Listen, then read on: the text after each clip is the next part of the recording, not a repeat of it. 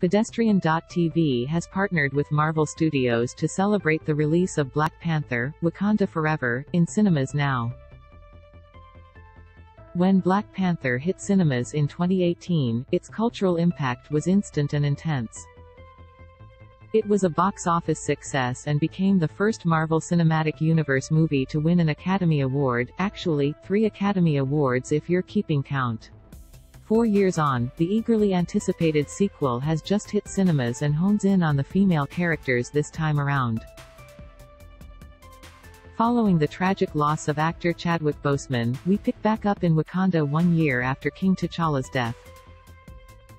We follow the women, from Queen Ramonda, Angela Bassett, and Princess Shuri, Letitia Wright, to T'Challa's ex-girlfriend Nakia, Lupita Nyong'o, General Okoye, Danai Gurira, and the Dora Milaje, grappling with grief. As they fight to protect their home from a new enemy, we see two tech-savvy women take control. While the role of a genius driving cutting-edge technology has always been a staple of the superhero genre, it's a space that's always been dominated by male characters. So, let's unpack the role of the tech genius and how Black Panther, Wakanda Forever is starting to change that. Shuri stepping up It's a common trope to have a tech-savvy sidekick that guides a superhero to victory. In fact, it's so common that it's literally referred to as the guy in the chair. And since Tony Stark's sacrifice in Avengers Endgame, we haven't had a clear tech genius stepping into his hefty shadow to support the rest of the gang, until now. In the original Black Panther movie, Shuri was Wakanda's chief inventor and tech leader. Fulfilling this sidekick trope, she developed equipment for her brother, like his silent sneakers, and even helped guide him to the vibranium suit. But she's moving into the limelight. She's so brilliant that the directors of Avengers, Infinity War, Joe and Anthony Russo, dubbed her the smartest character in the MCU. And now, in the wake of losing her brother, Shuri is picking up the crown while continuing to be the brains behind Wakanda's advanced tech.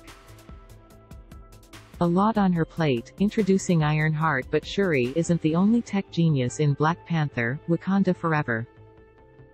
We also get a first glimpse at Ironheart, or Riri Williams, Dominique Thorne. For fans of the Marvel Comics, they'll be familiar with Ironheart who is a classified super genius.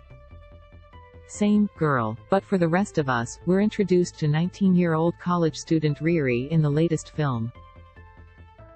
She's an inventor and gearhead who's reminiscent of Tony Stark in that she creates super-powered suits.